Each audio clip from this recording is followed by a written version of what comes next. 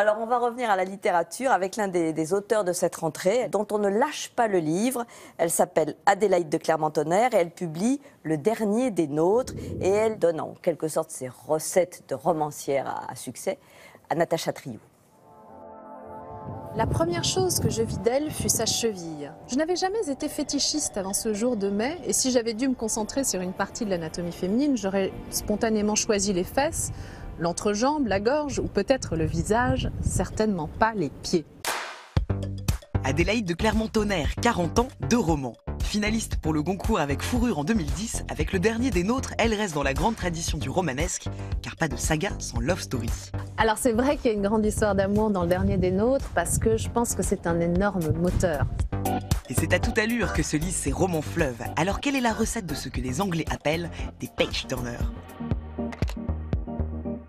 J'aime les histoires. Ma grande peur, c'est d'ennuyer. Je ne veux pas que le lecteur s'ennuie. Et l'une des choses que je fais, d'ailleurs, pour me méfier d'une tendance à, à être bavard, c'est que j'écris une grande partie à la main. C'est idiot, mais quand vous écrivez à la main, la main est plus lente que le fait de taper. Et le fait d'être plus lent, eh bien, ça vous force à être plus concis. Ce roman se passe vraiment sur deux époques complètement distinctes. New York, euh, Manhattan d'ailleurs, les années, la fin des années 60, début des années 70, Bob Dylan, la Factory, vraiment ce moment d'effervescence créative et de liberté. Et Dresde en 1945. Et donc on va comprendre au fond comment ces deux temporalités vont se lier au fil de l'intrigue. Quand on touche à la guerre, à la Shoah, euh, on ne peut pas se permettre de faire des erreurs. Donc tout est très documenté. Je me suis aperçue que dans les années 70, on a plein de thèmes miroirs avec les années de maintenant. Euh, l'écologie, l'économie participative, un retour à la nature, l'anticonsumérisme. C'est une décennie où l'argent n'est pas la valeur première. Et j'aime bien cette idée-là. Puis c'est une immense période de liberté. On, fume ce qu'on veut, on roule vite, euh, on n'a pas le sida. Un style fluide, de l'amour, des enquêtes historiques dans lesquelles se projeter, c'est la recette du page turner façon Adélaïde de Clermont-Tonnerre.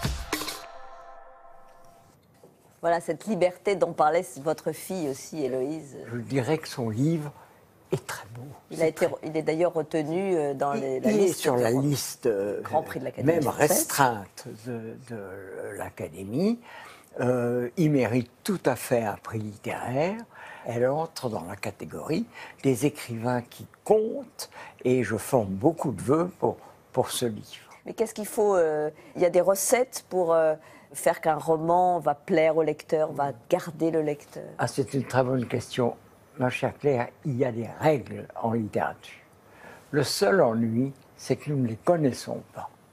Donc vous ne pouvez pas les donner? Non, on ne peut pas les donner. Il y a des règles, mais on ne les connaît pas. Je crois que le seul conseil que je peux donner, c'est travailler. Il faut travailler. Le- on n'écrit pas un livre comme ça parce qu'on a du génie. On écrit un livre parce qu'on travaille.